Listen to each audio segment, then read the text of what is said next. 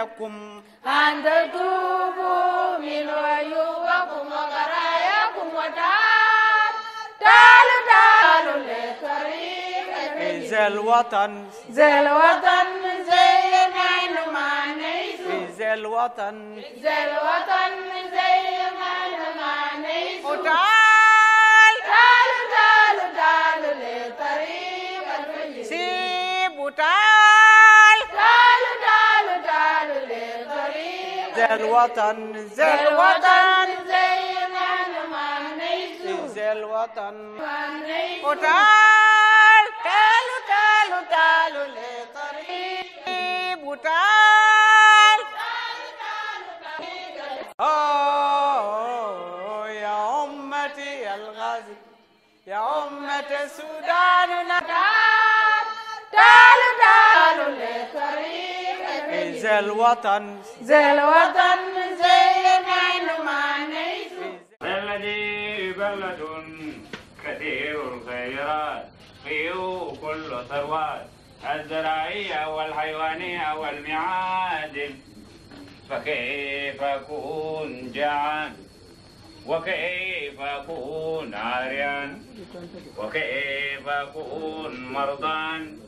بدون دواء. في بلدي الغنية 10 states, 3 administrative areas, one nation, one people. Welcome to Fixing South Sudan, your ideas for building the new nation. I am Adingor. This week on Fixing South Sudan, the nation commemorates 39th anniversary of the founding of the SPLA, SPLM. Each 16th May, we remember the sacrifices of the SPLA heroes and heroines. In this forum, we explore the participation of the people of Abyei in the liberation of South Sudan.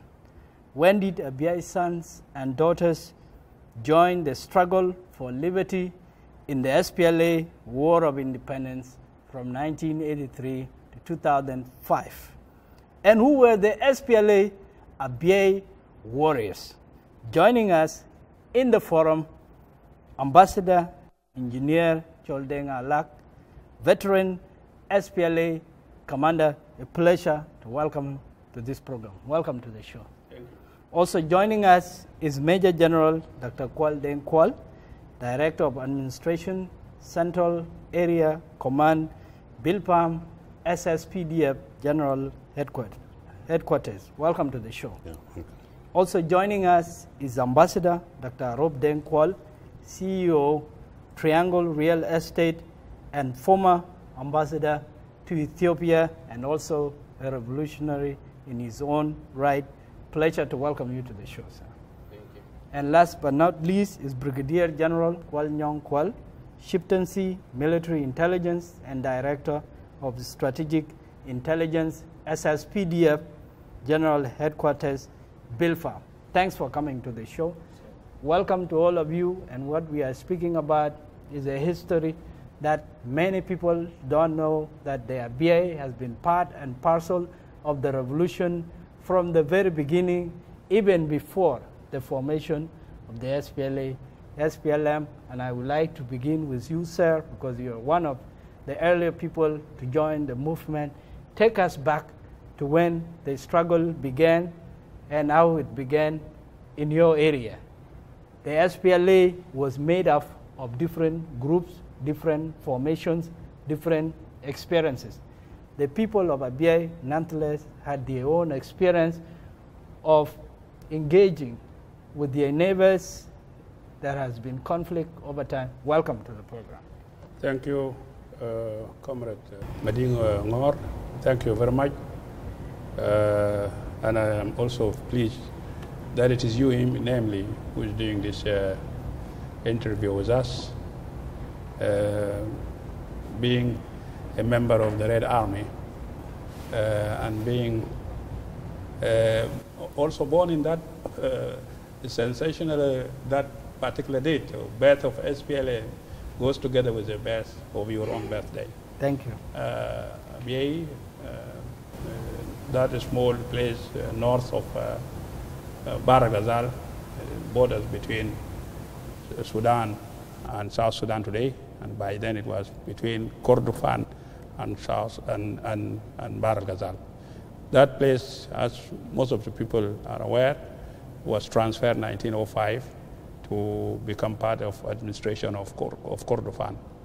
Later on, uh, the other areas which were transferred together with it came back to South Sudan, and that was some Twic area, uh, uh. Uh, they made their way back to, to South Sudan, what today is South Sudan, uh, Pariang to, to Bentiu, and, uh, and Twic area back to, to Tonj. Actually, Tonj was our uh, district when Abyei was transferred to, to, to, to Kordofan. Now, uh, this transfer, uh, which, uh, which was not actually in go- uh, because of good things which were happening, it was because of a solution to a problem which people were facing. Uh, now, with the coming of the rest of the, those areas which were transferred to, to, to the north together with Abyei, uh, Abyei was the only place left uh, with all the difficulties uh, faced being part of the north. Uh, and it has always been uh, a hope of people of Abyei that they rejoin uh, their uh, kins and, and back to uh, in, in, uh, in, in South Sudan, or what is now known as Republic of South Sudan. So uh, they were always conscious in all the liberation struggle about this being part of the people, integral part of people of South Sudan, not only being Dinka, but also being uh, people of generally what is known as part, people of South Sudan. And they fought uh, the, all the liberation movement, starting with Anyanya one, uh, uh, with the settlement of uh, Anyanya, uh, of, of the Addis Ababa agreement. Abyei case was left. A referendum was to, supposed to take place. It did not happen. Of course, it was denied. I would, I would want to be brief uh, that to give you that part for you. Maybe it is something not everybody was aware about, but this is it. This is what happened. Uh, referendum did not take place, and atrocities. While North and South enjoyed uh, relative stability and democracy and better life, Abyei was left in cool, and it was really suffering, paying very high price. From the very beginning, the people of Abyei have been suffering at the hands of the neighbors, and that colored the experience of Abyei to join a liberation struggle. Yeah, uh, surely. And even before uh, intensification between, with, say, with the, uh, with, the, with, the, with the first Anyanya or first uh, liberation movement of Anyanya, uh, Abyei didn't have a very particular uh, uh, uh, peculiarities which to say, but still, because they believe they are part of, uh, of the people of the Republic of South Sudan today, they, they, they participated very actively in the early command, and we, we had people like uh, Akonon Mithyang, uh, uh, Caesar Ayok, uh, Deng. These were very renowned uh, officers which were known uh, in Anyanya, and many, many other people were, renowned, were, were, were, who participated in this war. Anyway, with Abyei's case not settled, no referendum, and atrocities continued, uh, we found that we had to work. We tried to approach it politically here and there. I was by then, at the beginning, I was here working as a journalist in Radio Juba. Then I, I, I went back to education, uh, Soviet Union. And by the time we came, we had to, we, we found that the situation was even going worse. And we had opened many uh, ways of trying to, how to get the solution. And one of them was that we were forced to defend ourselves uh, against aggression, which started especially 65, when uh, banning of the people, uh, houses, and killing, kidnapping, uh, real atrocities in the real sense in those days. Uh, and our people found they had no option except to, to pick up arms And uh, Let me hear more about Yes. self-defense and how it was organized. Yeah, yeah. Uh, be- be- because uh, the government of Sudan, uh, even back to time of uh, late Sadiq Al Mahdi, uh, organized militia uh, to come to fight in a, in the, in Abyei area, and uh, the idea was to dislodge the people from their land and uh, take the properties. Uh, that that that that, that uh, theme never ended up even with the time of Nimeri when Nimeri was in power. Uh, there were all these people now trying to uh, the fight was there, and I remember في 1980 1980 في uh, I want to shift somewhat to Arabic because uh, it seems people are not will not be following all. في سنة 1980 بالذات ال- الوضع بقى بقى بطال في ابي وحتى هجوم حصل و بمشاركة بتاع الجيش مع مراحلين and by the way المحل أبي ده أول محل افتكر ظهر فوق التجربة بتاع مراحلين وكان في نوعين من المراحلين. مراحلين في حاجة اسمه آه، متراحلين آه، مراحلين آه، ثابتة وفي مراحلين متراح- مترحلة مع مع العرب. كويس protect them. You just imagine they have the protection of the عندهم حماية من الدولة وفي against ناس معزل ما عندهم أي حاجة. أبي population بتاع أبي ده has been disarmed many times. فالمهم آه، want to say انه resistance was the most uh, yeah uh, so form of resistance. Yes. So anyway, سنة 80 ده uh, تانغو مغانغ واجنوام uh, which place اسمه مغانغ واجنوام حصل فيه معركة عنيفة جدا واستشهد عندنا عدد كبير من الناس معظم الناس كان عندهم شنو؟ ما كان عندهم يا هراب وشوية واحد سلاح اثنين ثلاثة. اللي قطوهم لكن المسيرية بقيادة بتاعت آه، والجيش والجيش السوداني بقيادة بتاع واحد أحمد آه، ال- أحمد الباشا آه، مولانا أحمد الباشا على ما أعتقد آه، they were there and they fought against us. In spite of this شوف كأني على جلوي. ال- الدنيا ده ما بخير لأنه الزي زول عنده حق ده بينتصر حتى في أضعف الظروف. بعد ده عندنا شهداء لكن الانتصار كان لصالح آه، غوق وقدرت تو ريبالس ديس بيبول من يوم ذاك الناس ابتدت تفكر و... وكان عندنا حاجة اسمها أبيع ليبريشن موفمنت وكان عندنا اكتيفيتيز عشان بعد لأنه بقى في موضوع بتاع السجون وناس دايرين يدخلوهم السجون عمر محمد الطيب was running after us Thank left you right for this intervention. Yeah. We will come back to your own story.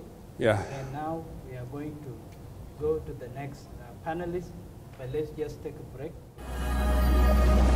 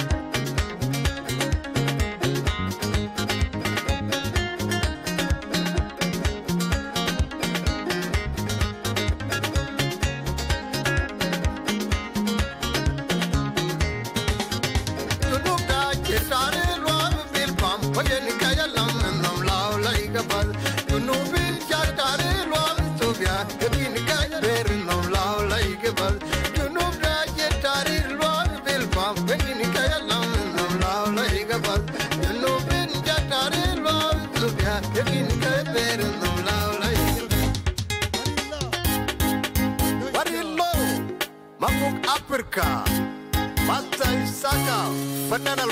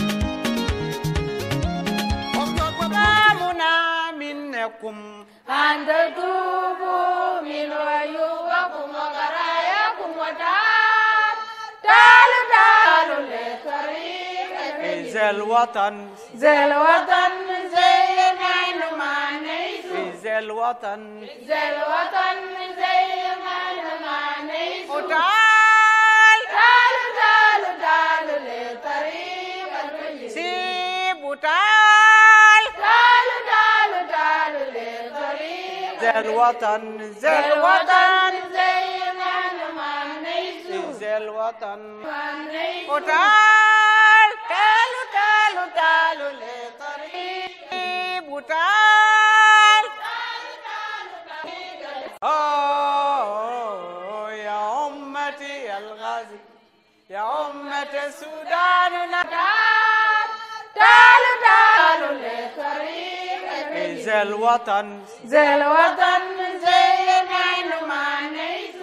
Major General uh, Dr. Kwal Kwal, I would like to bring you in here.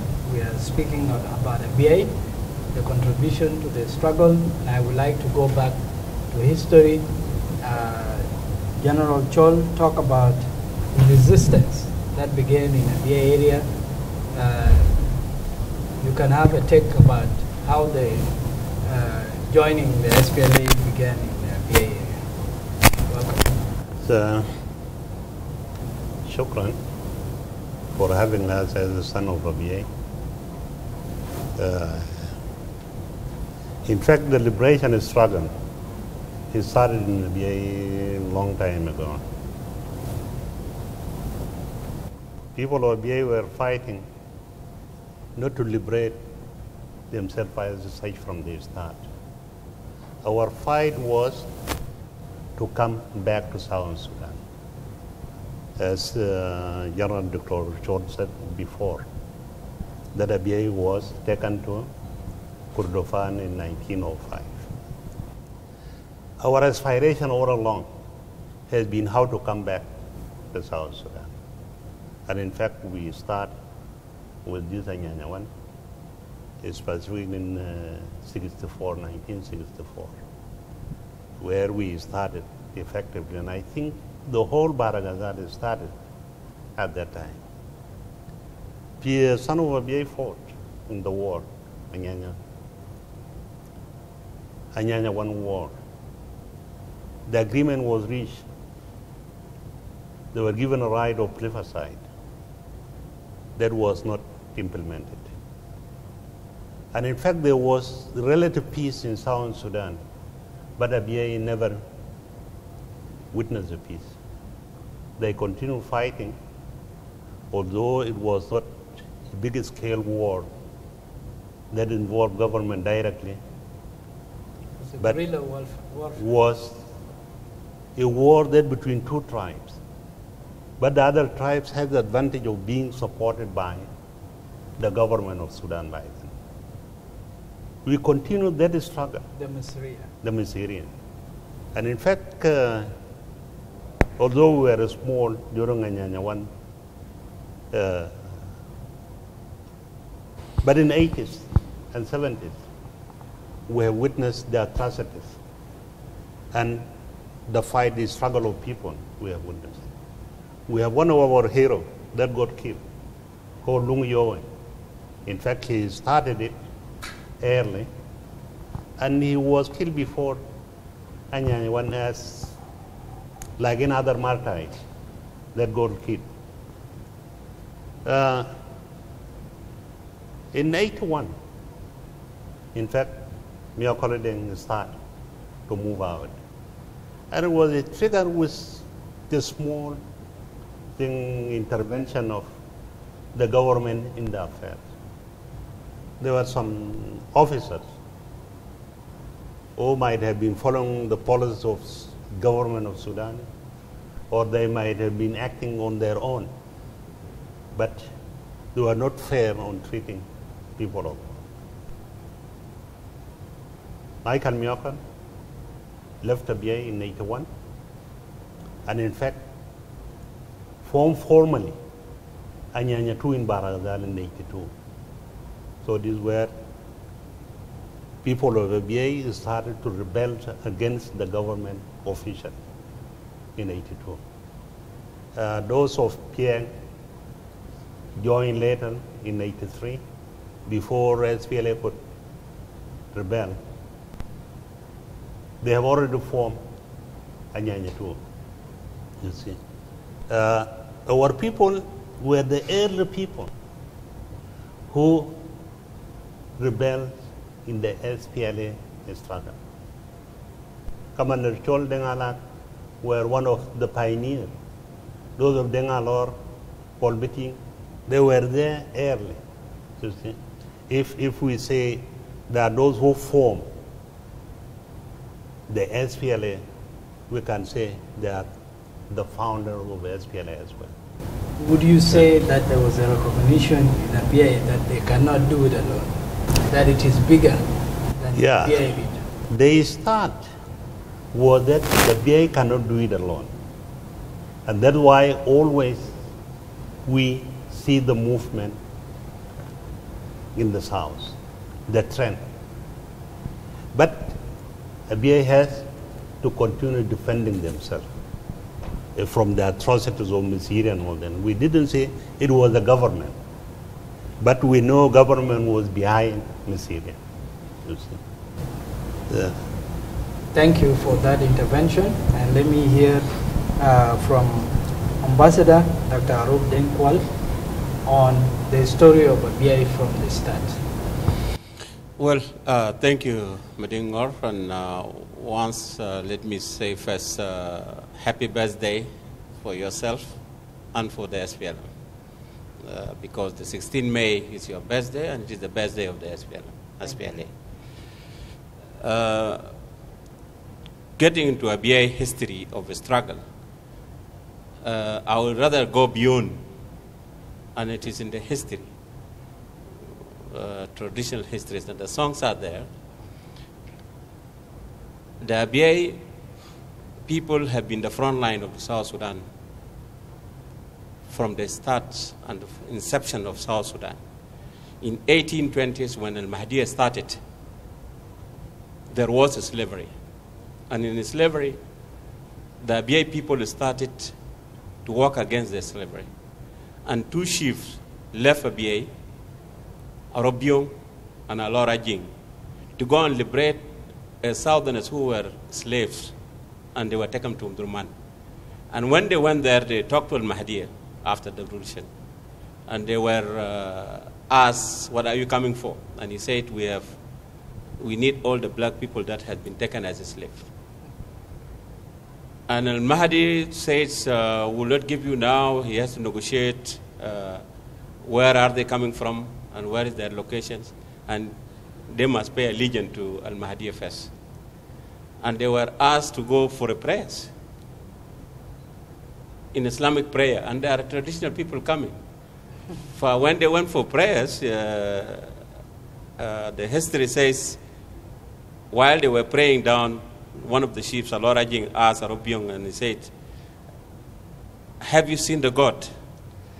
And he said, for the sake of our people, let us pray. And, and that is the beginning of the history of the struggle of the people of Abyei.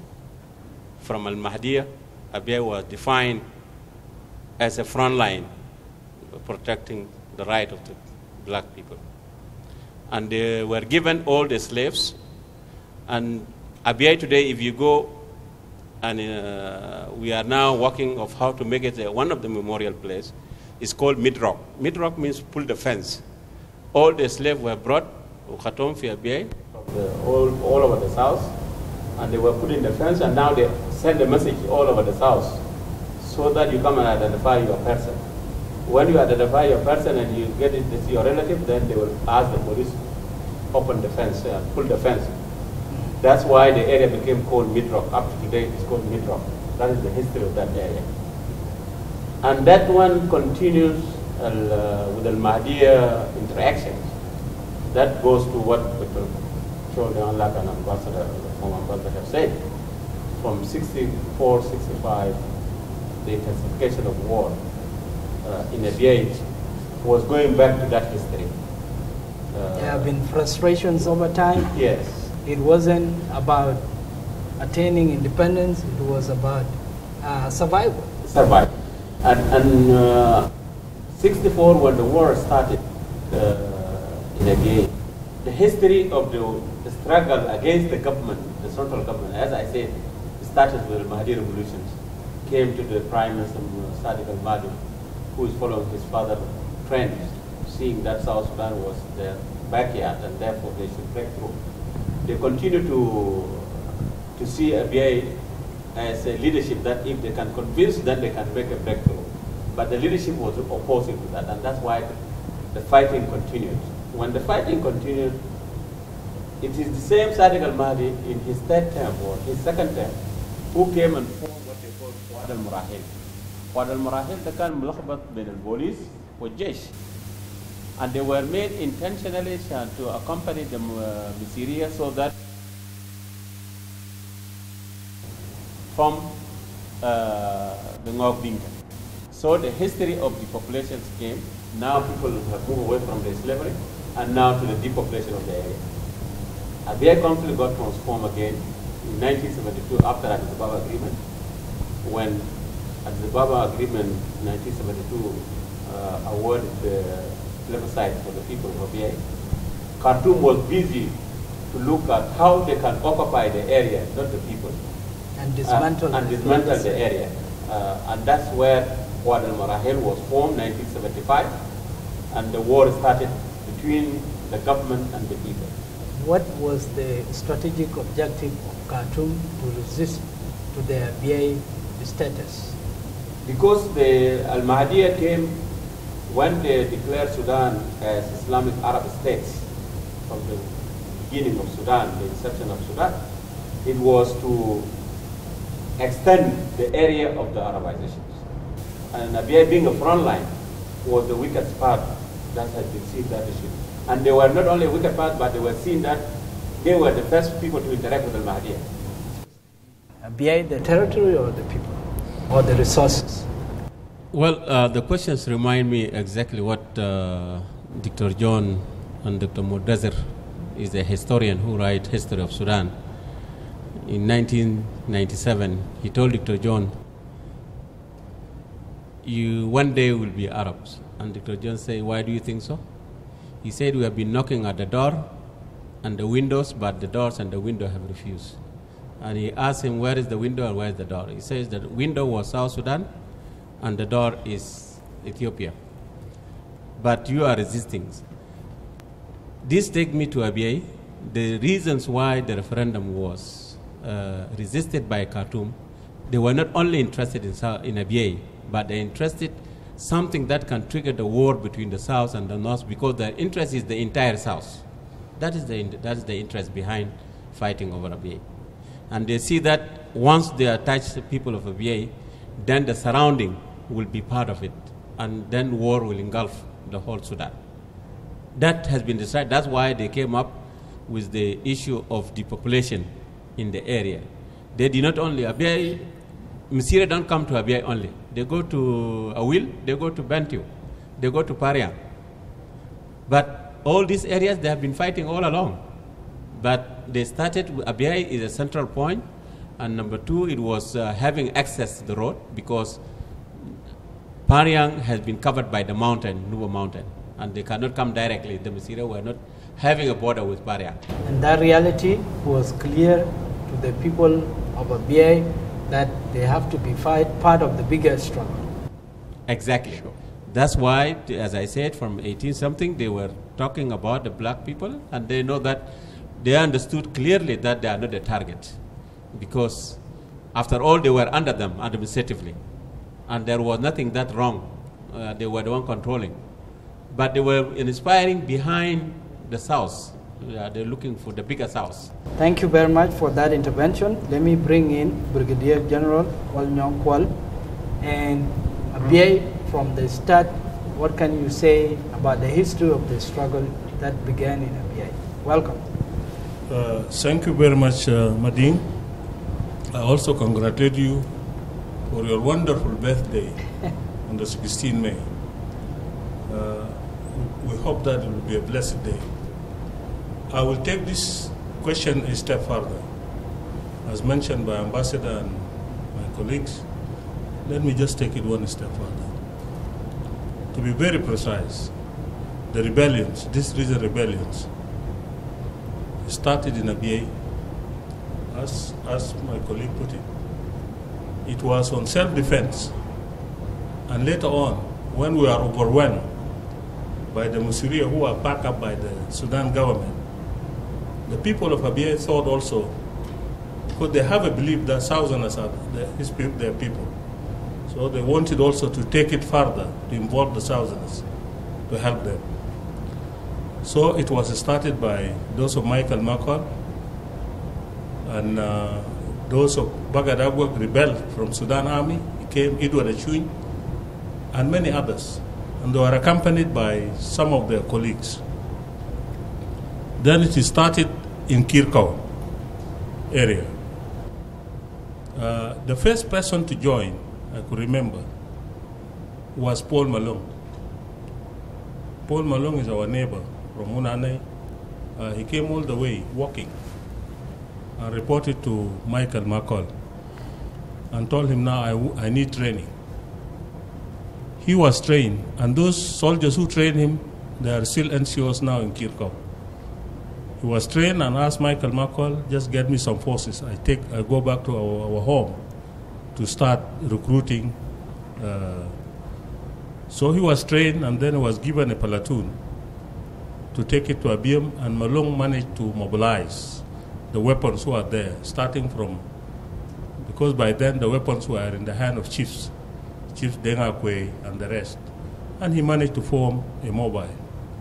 And this thing also immediately extended to Western Railway, to Luka Luari, also join in, and then the thing started to, to quickly develop. Uh, also, in the 1974 agreement, I mean 1972, the police who are sons of Abyei were, were, were expelled from Abyei and deployed in Gogrial, northern part of Gogrial, and then in Biemnam, etc. These police who are there, immediately when Michael Mako rebelled, they also are sharing the rebellions in Gogrial. That is a very important point. And then some of from Gogrial also join in, and some from Biemnam. Uh, and now, within a very short period, Anyanya 2 was formed. And those of Piang now joined and they open up with Malong, a place called Majong Intio, where they buy ammunition and then weapons.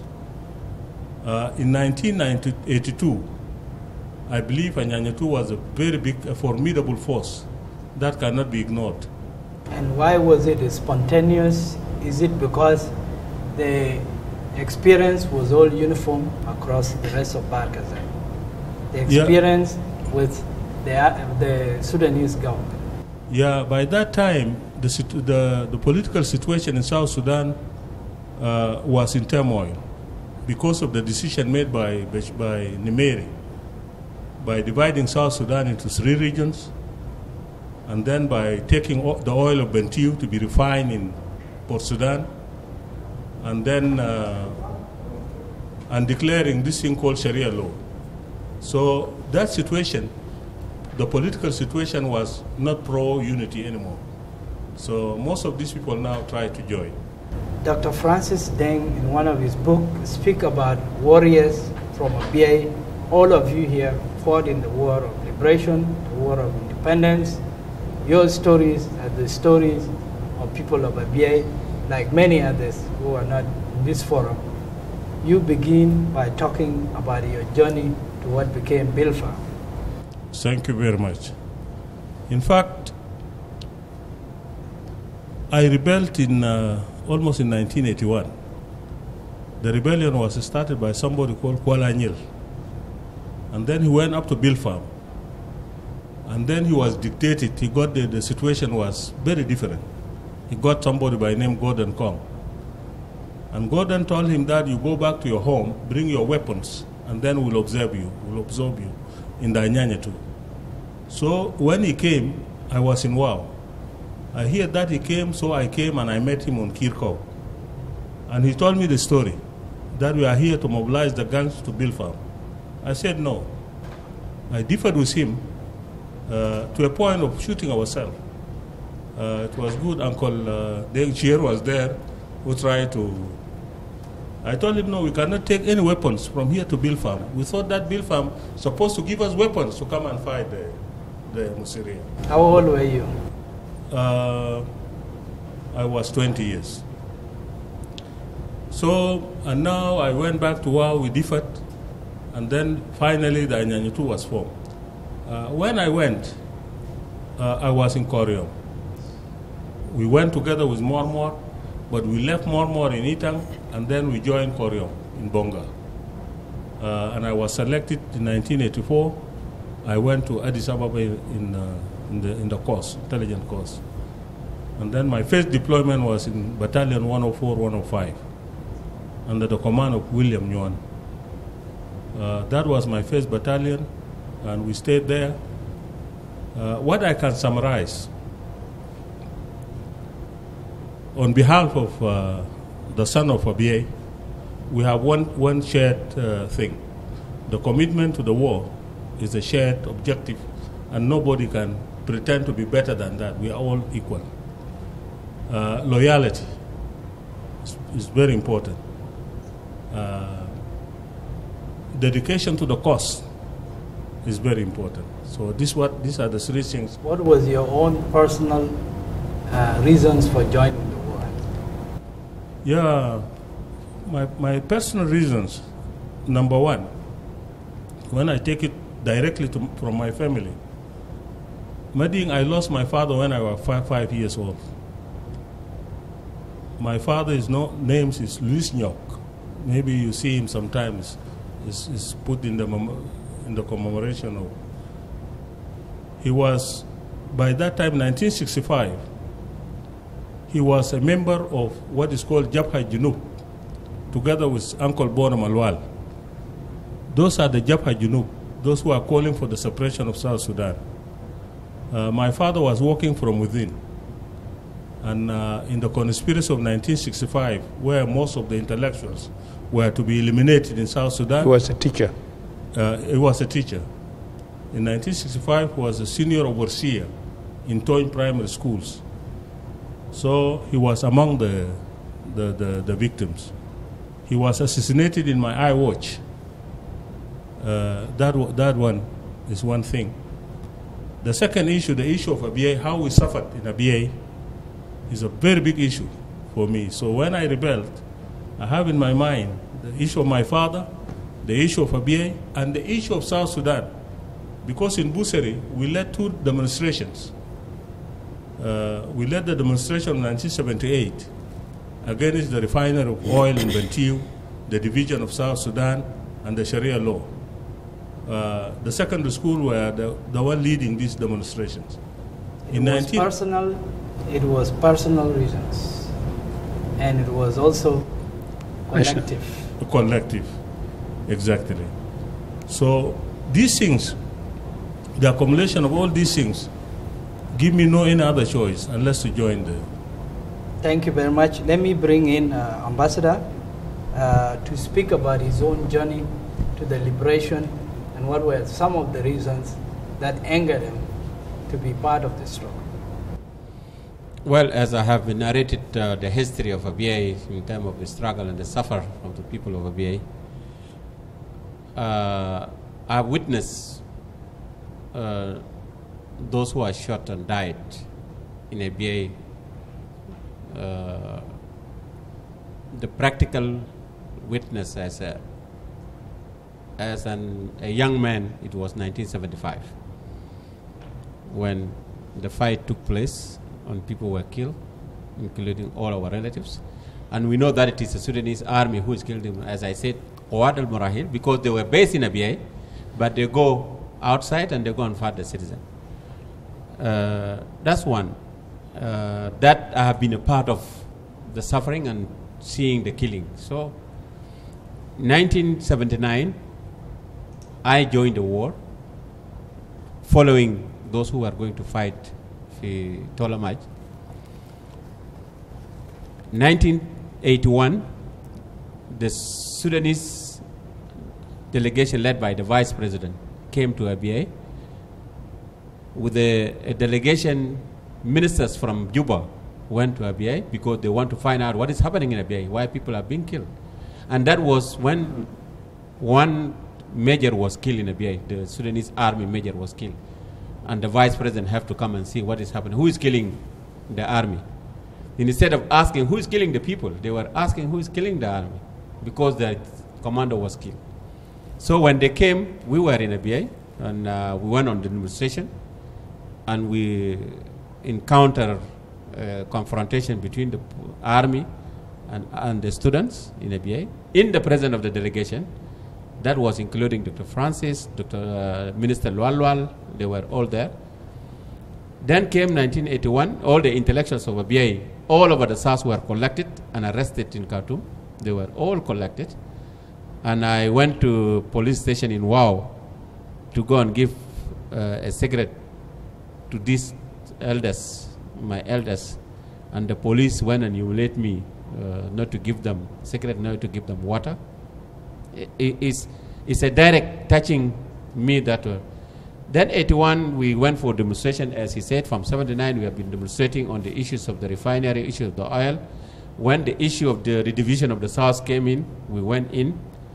And the first victim of the students was my direct brother, uh, Dambek Deng, who was shot by a bullet as a student in 1982, Fidakal Wow he was the first victim of the students and I just came with him from Abyei this uh, all this accumulation plus uh, General Kuala Romalek, who was uh, general, uh, one of the commanders in Green Tea, he used to give us ammunition in 1970 something, and we take them to Abyei. So we have been taking ammunitions, we have been taking guns through our uncle uh, Mian Kwal.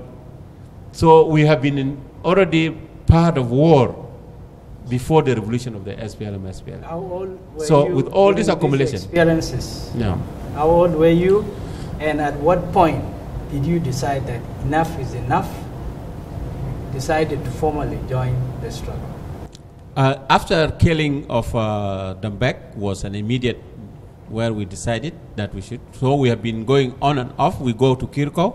We got trained 1982 with those of Piang together. How old were you? I was uh, 16. And you were conscious about all the events. I was conscious with all the events because I was interacting with uh, intellectuals and I was a leader uh, of uh, my schools. I was the school captain. Were you Yeah. genuinely aggrieved, or was it an exciting experience for you? Well, seeing the seeing the blood of somebody that has been shot by a gun, uh, and is your relative, and it is somebody walking because he has a gun. That's why he kill your relatives.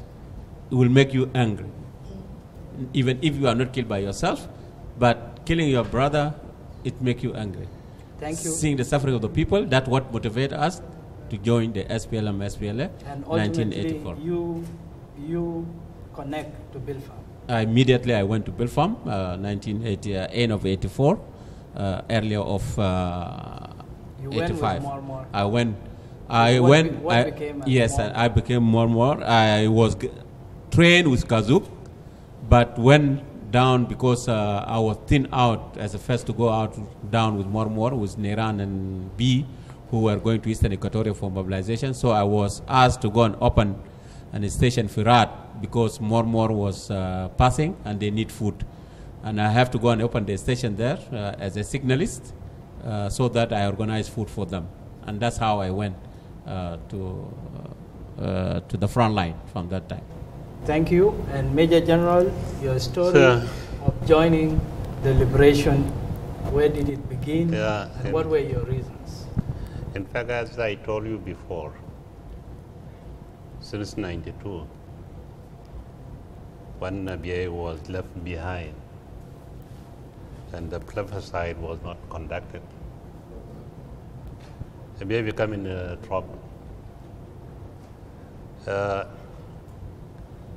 we say the revolution, Venezuela revolution, it started effectively in 1993. By then, uh, by then we were university students, and uh, we were conscious of what was taking place. And in fact, we were also introduced into this uh, political ideology. You know, those of Chol and Idwalin and all that thing. There was this movement called NAM, National African Movement in South Sudan.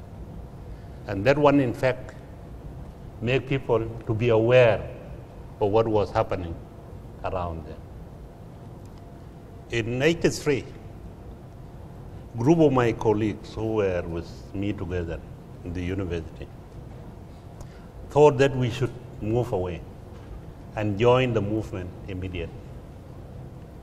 Uh, those of uh, Dr. Ajak and uh, Dr. Uh, John Duat, he died, he's late now. They said we move in 84. Let us join the movement immediately. And by then, I think we were in uh, fifth year, about to finish. Then I told them uh, it's not a wise idea to move The fighting power is enough. But those who will go and help people, because when you fight, you will have wounded people, you will have people that need your help and all that. thing. I told them, let us finish. They said, no, we are going. Because by then, in fact, uh, people thought it was something that will finish tomorrow or after tomorrow. Uh, كان في حماس شديد. we resisted joining Fati 3, and we thought when we finish uh, our uh, course on the Faculty of Medicine, then after graduation, then we will go. We graduated in 85, knowing what we were supposed to do. But it became difficult because by then the security became very tight i did my internship in Khartoum.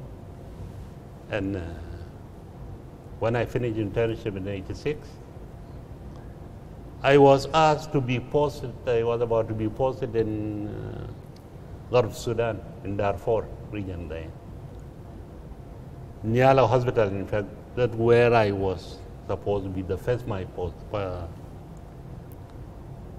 then, by then there was this crisis over the end where there was massacre.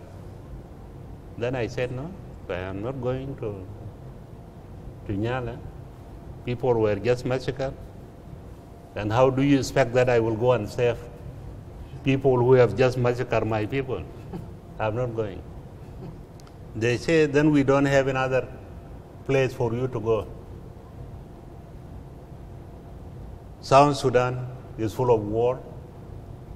Russian people were uh, killed in Juba. In fact, there were two doctors killed in 87 around Juba. They say there is only one position that you can get in Southern Sudan, which is in Juba. And you are disadvantaged.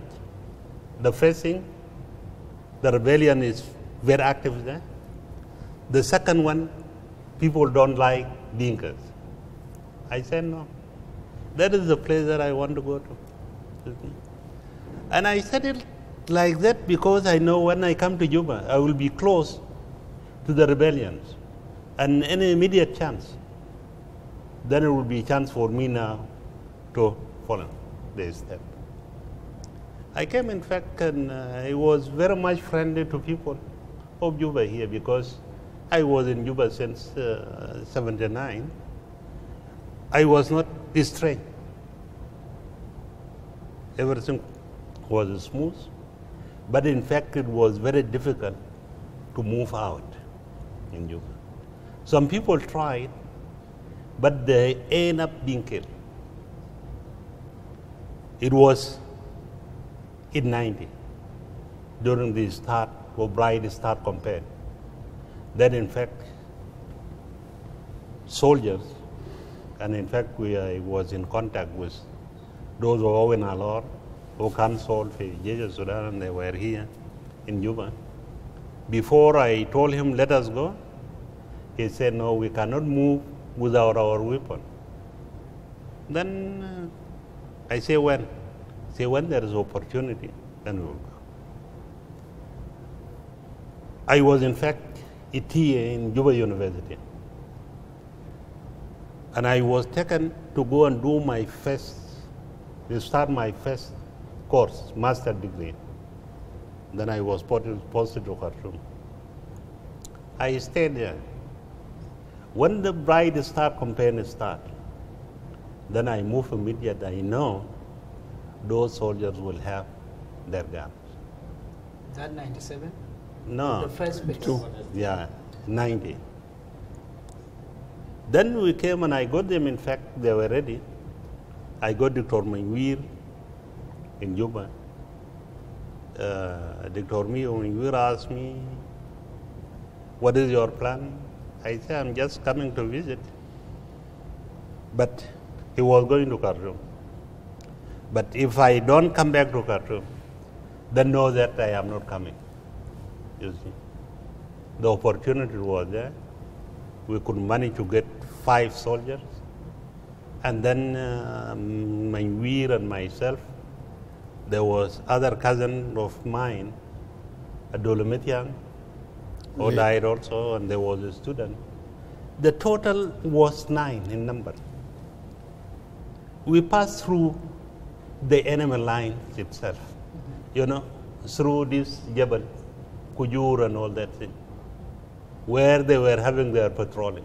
Were you mindful of the Yeah. risk? Eh, Or no, we were mindful of the risk, but we have advantage that those five soldiers, some of them were on duty on that day.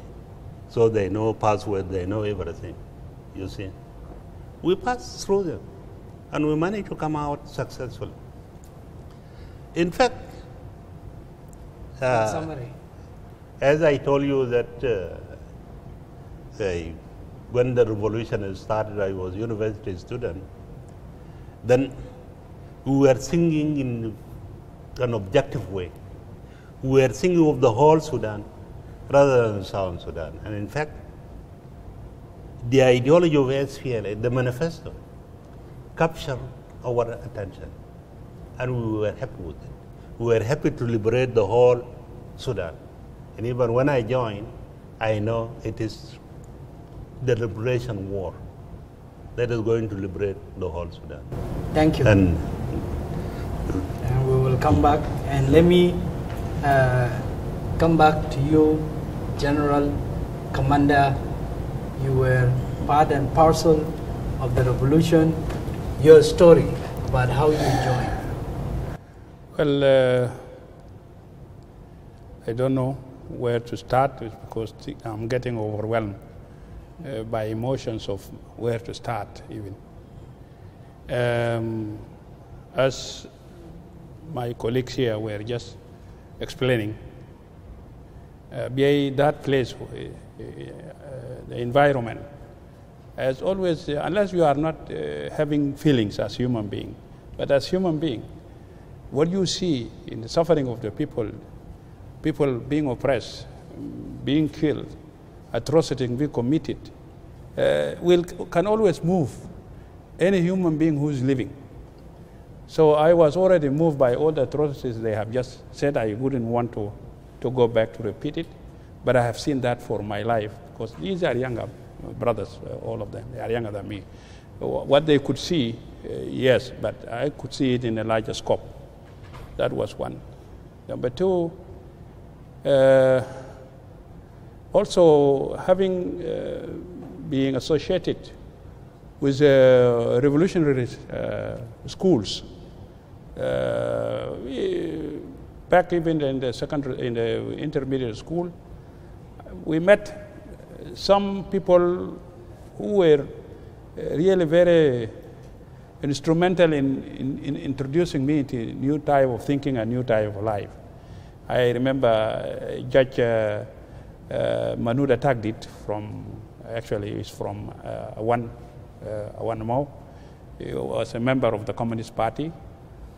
Uh, and in 68, 69, he introduced me to explain to me the life of the socialist country, of the socialist people, and how people talk about equality uh, and all of this. All these things attracted me. And when I take it and put it at home, where the oppression is being exercised against our people, I thought that was the best solution for our people. And if it is for our people, let it be for the whole Sudan.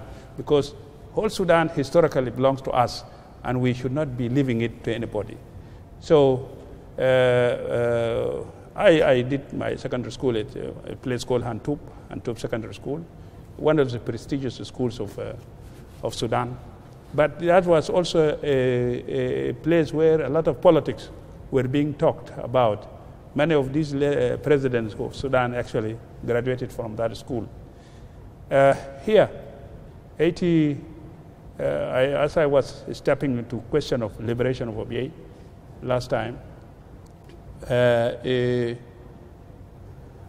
we we thought with all these atrocities also, and we were knocking at all the doors trying to get a solution here in Juba. There was regional government, uh, high executive council with the regional assembly, and the issue of Abyei, if it is raised, uh, people that "Ah, please, please leave it because this will take us uh, back to war.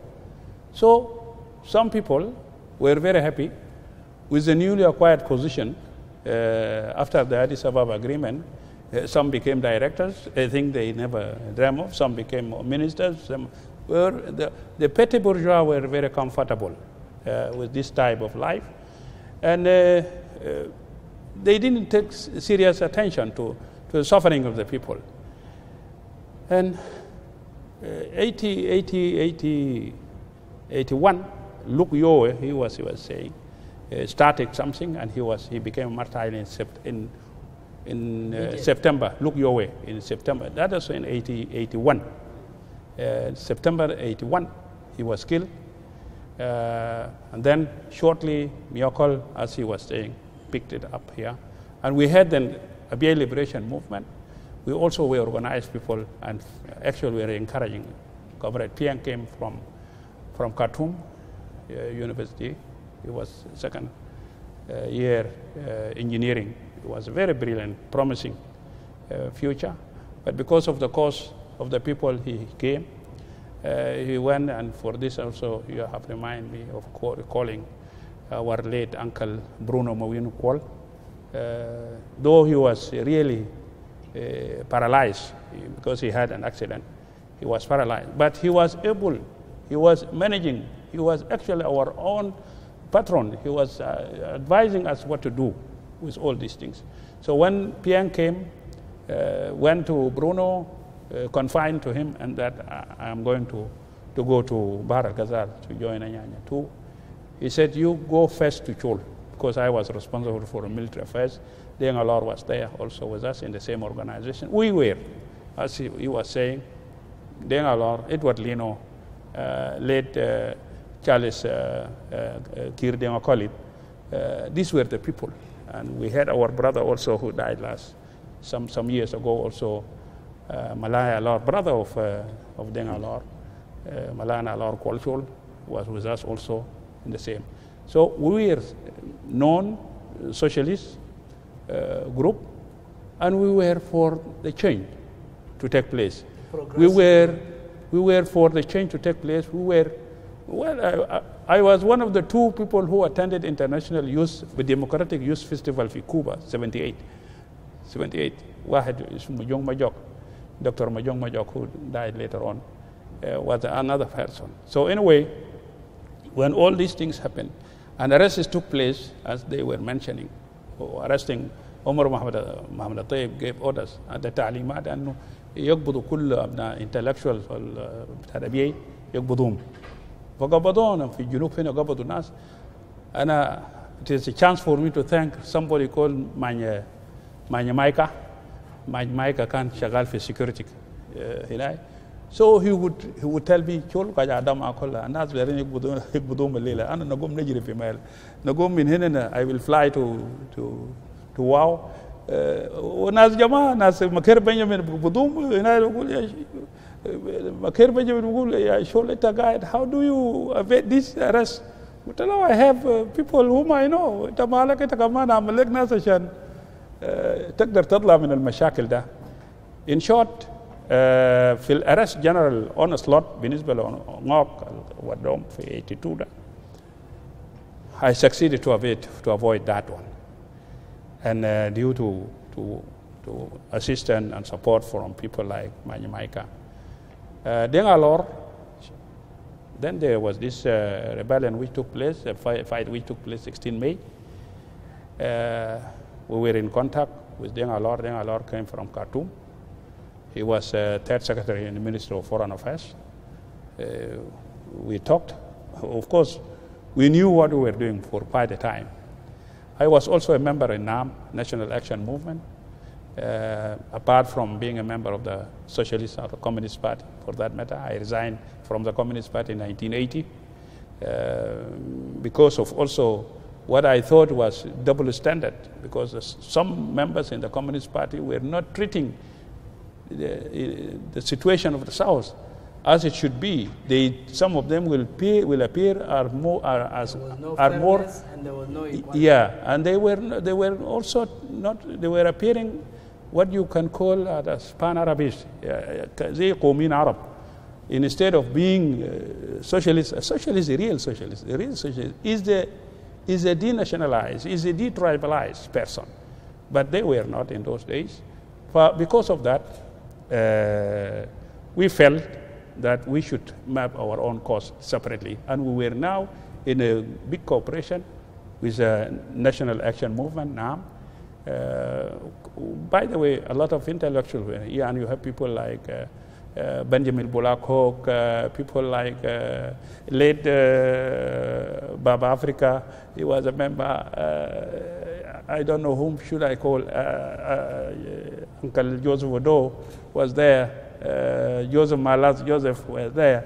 Uh, uh, so many others. many, many. For the sake of time, uh, now, in 1980, uh, uh, 19, so in 1982, uh, 1983, after the incident of Bor by the fight in Bor, and then Deng Alor, when he came, we agreed, Anamashi, Malakal. I was transferred to Malakal by then. Because I was an engineer, I was transferred from Malakal to manage the river transport. So I'm going to this is a chance. Let us go to Malakal. From Malakal, uh, we go. Deng was hesitant because he wanted to travel by air. Deng Alor. Gal namshi uh, Nairobi, Nairobi, we go to uh, Addis. Ana gul talo oh, Deng. Kai wai lo ko chok. Uh, Tamaruda eh, na mo lo brijlena ma fi haje so ina eh, idan. Zaidan أسمع كويس دين الله في واحد اسمه بياليل غوندين. كوك. بياليل كوك غوندين. بياليل ده. ده كان سياسي معروف هنا من الناس هو فوكال about مشاكل بتاع الجنوب هنا. He went to Nairobi. كينيين ده رشوهم شوية قروش كده. حكومة سودانية. الناس ديل were بمنوم. شالوهم بطي... ب- بعنايه خطوهم في زينا ودوهم خرطوم. لحد ما مشى صحى جوا خرطوم قلت له do you want to go and awake and find yourself in cover? don't do that this will be a big mistake then Allah let's go to to to Malakal and, and we'll huh? he agreed. and we and he said okay let me give me some time you will go before that we went to James Wani Igga he was here working in the ministry of uh, uh, he was working with the Juba Insurance Company. Machine, we told him, Muse, هذول مشاكل فيه. أراه قال هاي نينا برو. كويس. مشينا لواحد اسمه كلمن كاتينيا من أولاد مورلي. آه، كان في كان قرى تجارة برضه. ومشينا we started mobilizing people here عشان نمشي نمشي. المهم يوم واحد ستة. يوم واحد ستة. أنا قمت بطيارة من هنا من جوبا. مشيت ملكال. That was the very day زول Sadiq Al-Banna البنا was making operation against Boma. operation to Boma Also Pagana Mom and uh, Nyachigag Nyashuluk uh, La uh, Kurunyang Lado they had captured Boma. they were uh, what they call South Sudan Liberation Front and they had captured Boma. Okay, Okidak so Sadiq al-Banna ah, was transporting forces بمطار بتاع جوبا ده عشان يمشي لبوما for, for operation انا قمت من نفس اليوم من هنا مشيت uh, ملكال in ملكال uh, I waited as I said six days and لقيت ناس uh, جيمس هوس قروث معي uh, ناس كوال كوال دينغ بود his elder brother to ambassador Rob هو كان كانوا في ملكال uh, they were just uh, sc- uh, secondary school leavers by then فمشينا ولقيتهم عندهم also already الكونتاكتس موجود with the uh, cells بتاعت South Sudan Liberation Front بتاع ناس بتاع ناس فقر عموم ده كان عندهم cells organized so we organized and we left 17 of us we left together من ملكال that's myself those who are here now and Kennedy Gain if you know somebody by name left with us together by the quality about that uh, في واحد اسمه شويل شويل شويل موم جماعات فيما بعد ده كان في شويل شيلوان ده من اولاد الشروق فمن different nationalities بتاعنا بتاع South we were 17 I was the elder among them You So, moved from Malakal. we moved from Malakal كنا وصلنا في أجوبة when we crossed في أجوبة في البلد الثاني في بعد نقديار when we moved there مشينا قعدنا so قلت لهم let us organize ourselves we are going and we are going to form a movement there was nothing called by then SPLM SPLM And of at course that point, were you Uh, all a Nyanya too? Or you no, were- you no. were put I was an together by- engineer here, and I was a member of the National You, Liberation. you were united by the objectives. By uh, all of them, they, were- we were there going anyway uh, to this direction because there is a chances of people either in Bilpam, we get people and we organize uh, to, fo- to, form, to fight a war, fight a war. Now, I was now trying to talk to them. Min Juba, min Ajuba, yeah, when you cross Anagda, I told them, from here, now we are still in area of Shuluk. We have just come out of area of Shuluk, and you have missed your chance, uh, Chwila Mom. But from here, it will be somebody from Dingo who will be responsible, who will be our leader. Lahadi, wa- when we go to Pantau, then James Ross will become the leader. What was the destination? We were going to Bilpam. So uh, uh, I told them I will be a political commissar for them. This was the first time they had something This called. is a detailed story that we will explore, but in summary, Because in summary, we, we went, and then when we, we went to Bilpam, we were again arrested. I don't know, this is a ter- are you interested in this or not? I don't know. Because when we went to Bilpam itself, even on the way, there were some, you left from Malakal to Bilpam. uh, yeah, Let's- supposedly. Let's yeah. keep it there for now. This is Fixing South Sudan, your ideas for building a new nation. I am Mading Ngor, and with us in the studio, warriors from Abyei from the SPLA revolutionary struggle 1983 2005. We take a break from here, and with us, our ambassador, engineer Chol Deng Alak, veteran SPLA commander, Major General Dr. Kwal Deng Kwal, Director of Administration, Central Area Command, Bilpam, SSPDF General Headquarters. Ambassador Dr. Arup Deng Kwal, CEO, Triangle Real Estate, and former ambassador to Ethiopia, Brigadier General Kwal Nyong Kwal, Chieftaincy, Military Intelligence, and, and Director, Strategic Intelligence, SSPDF General Headquarters. We will come back for the final round. This is an honoring poem. It is dedicated to our liberators, both the soldiers and the civilians. Now, listen. I honored you, our veterans.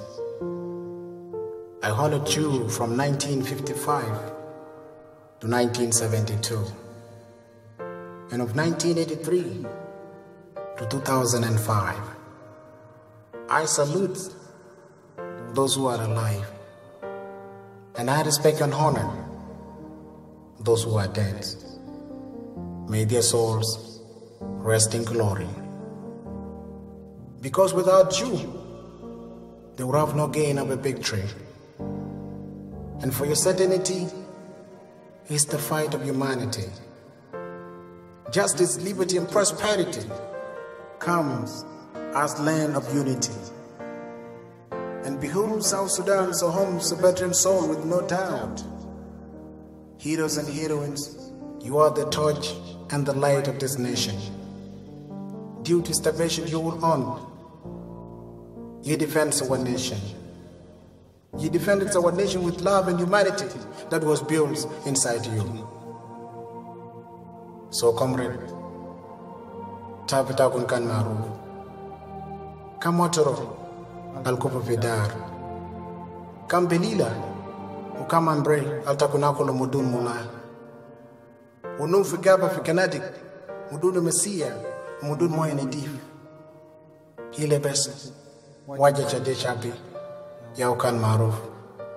Lakini takun masibu ashanena biligo boria zehalela so shukran.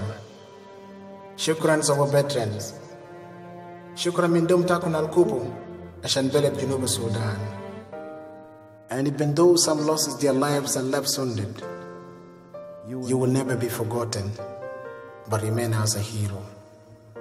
For the victory and the freedom that you brought to us. I am a South Sudanese soldier.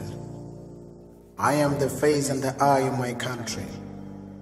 وشكرا إمامنا منكم أن تتوبوا من عيوبكم وخطاياكم وتعال تعالوا تعالوا للطريق زي الوطن زي الوطن زي ما ما نيسو زي الوطن زي الوطن زي ما ما نيسو وتعال تعالوا تعالوا تعالوا للطريق الوجه سيب الوطن زي الوطن زي ما ما زي الوطن ما نيسو وتعال تعالوا تعالوا تعالوا لطريق. وتعال أوه يا أمتي الغازي يا أمة السودان. تعال تعالوا تعالوا للطريق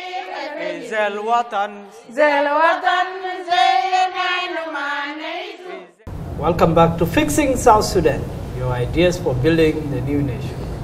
I am Mading Ngor. With us in the program are Ambassador Engineer General Chol Deng Alak, veteran SPLA Commander, Major General Dr. Kwal Deng Kwal, Director of Administration, Central Area Command, Bilpam, Ambassador Dr. Arup Deng Kwal, CEO, Triangle Real Estate, and former ambassador to Ethiopia, Brigadier General Kwal Nyong Kwal, Chieftaincy Military Intelligence, Bill Farm SSPDF General Headquarters. We are summarizing commemoration 16 May 1983 2005, the heroes that made the liberation possible and ultimately the independence. Abyei fought from the beginning to the end. There are stakeholders and there are dilemmas about its status is fully is still not fully resolved and what can they say about the future of Abyei going forward. You have the floor. What will ultimately end the suffering of Abyei with the status not being fully defined? Uh, thank you very much, Mading.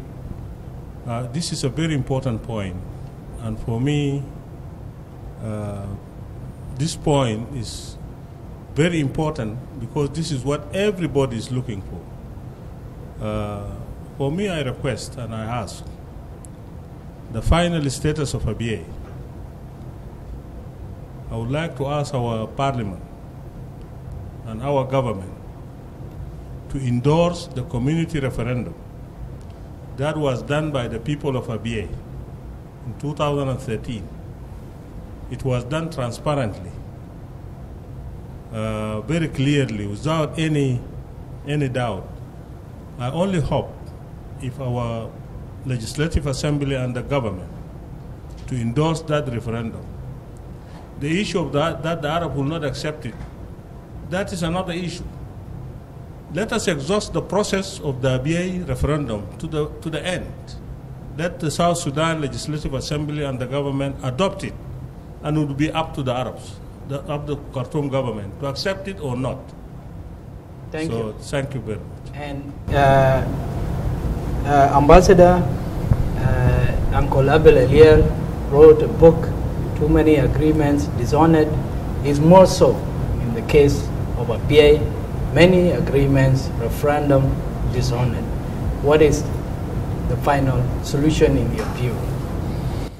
The final solution is the program itself, fixing South Sudan, uh, is fixing the problem of Abyei itself. Uh, as a CEO of uh, for economic development and for the infrastructure development, liberation was for the development, and the reason why I call it triangle because I have finished the military part, liberations. I finished the diplomatic relations. Uh, that's why South Sudan recognized a sovereign country. But we are left with another liberation, which is the development. And South Sudan uh, development should include the development in Abyei, and that is part of the liberation. So, for total Abyei liberation to take place, political liberation is under process, as my brother says, the recognition of the parliament.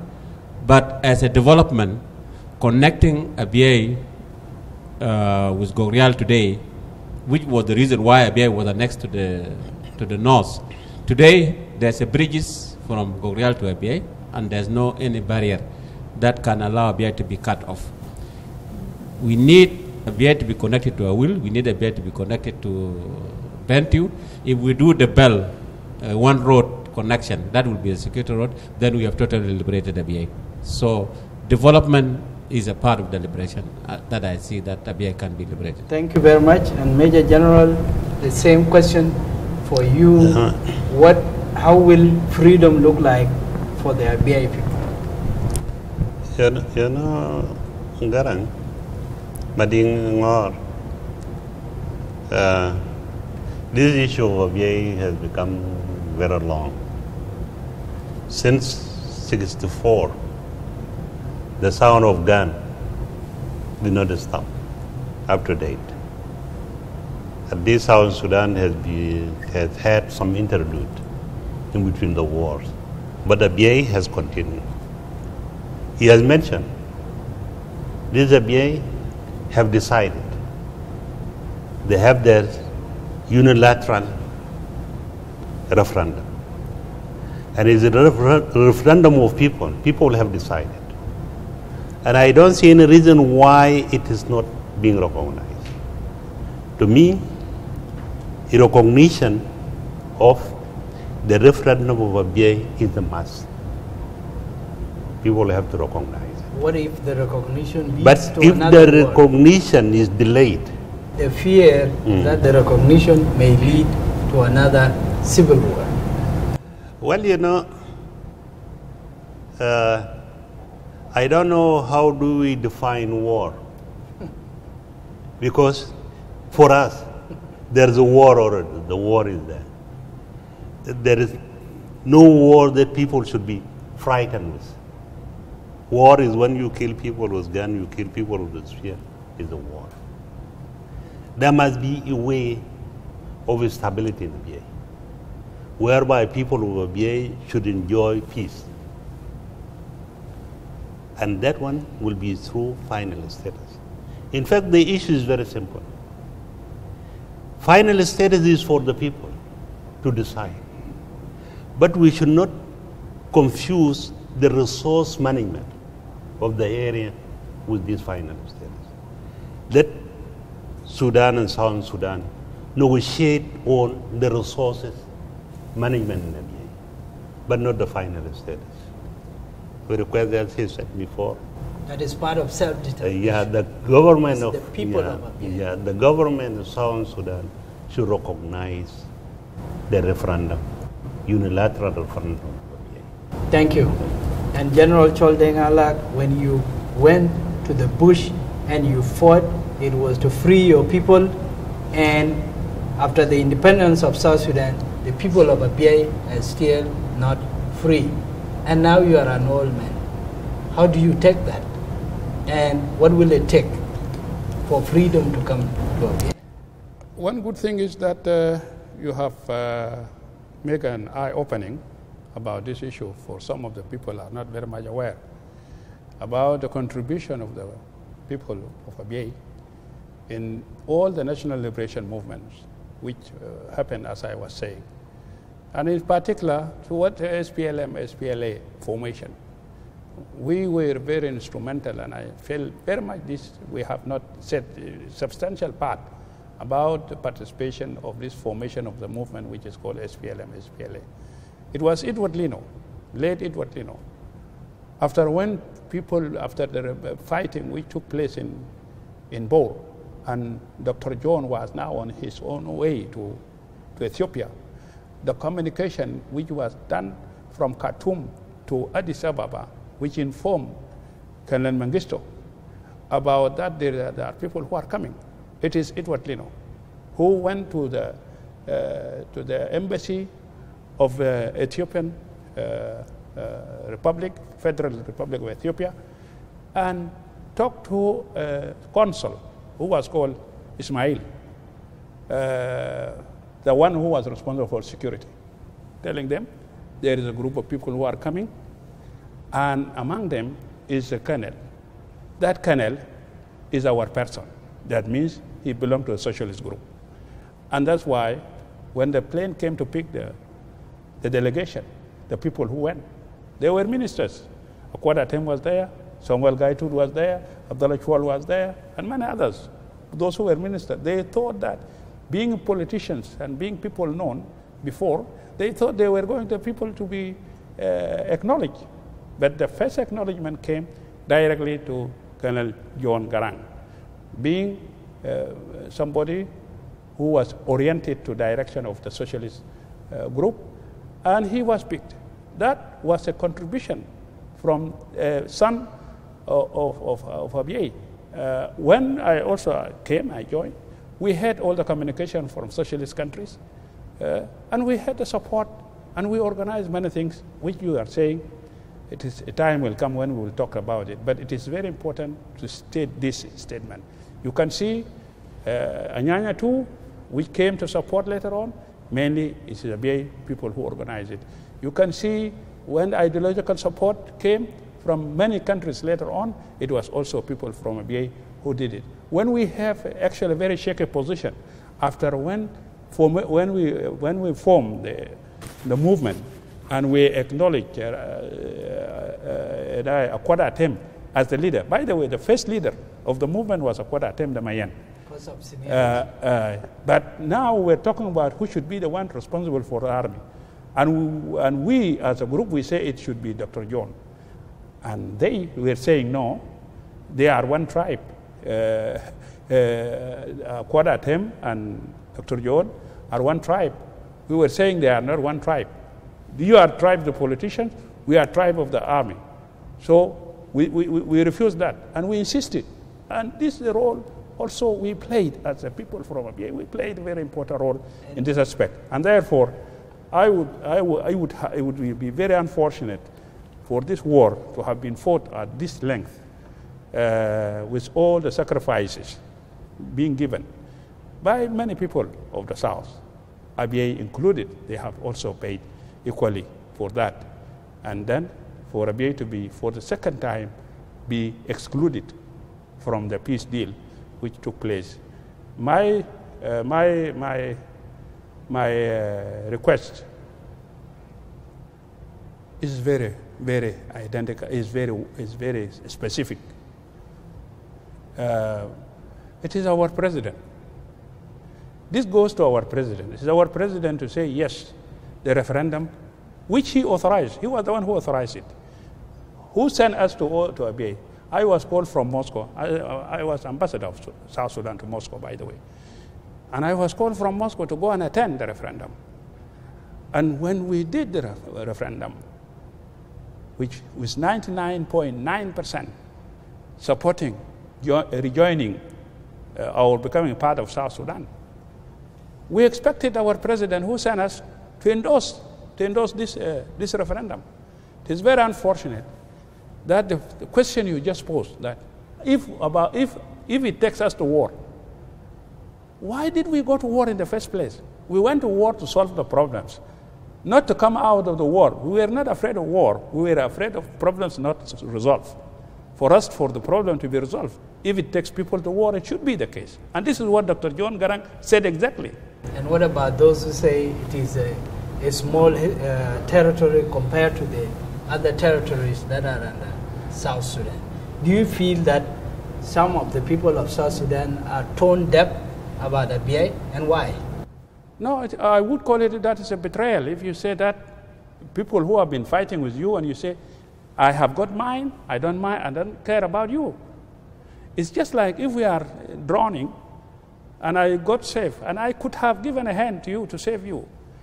And I say, no, after all, I'm safe. Uh, you see, let him do Eh, do his. So this is the case with Abyei, I think. Given birth. So Yeah. why do I care about who is supposed to come? Yeah, why would I care? Would you concur with what the ambassador was saying that fixing Abyei is fixing South Sudan? Exactly. Ultimate fixing of Exactly, and, and, and, and what he said at the very beginning that our allegiance to this very government, and by the way, it's not conditional, It's unwavering, It's the position which we believe this president was elected popularly, popularly. And nobody should claim any other position. Let us wait for the people to, to come, to come and, and, and contest whatever we want to contest through the people. president should stand by the Abyei people. Because, because that is what I believe what he stands for and should have been. If there are other people who are confusing him, let them stop confusing him. And that should bring us to a logical debate about the theme, warriors from Abyei, the contributions of a BA historically and to the liberation struggle. I thank the panel, uh, Ambassador, Engineer General Chol Deng Alak, Major General Dr. Kwal Deng Kwal, Ambassador Dr. Arup Deng Kwal, and Brigadier General Kwal Nyong.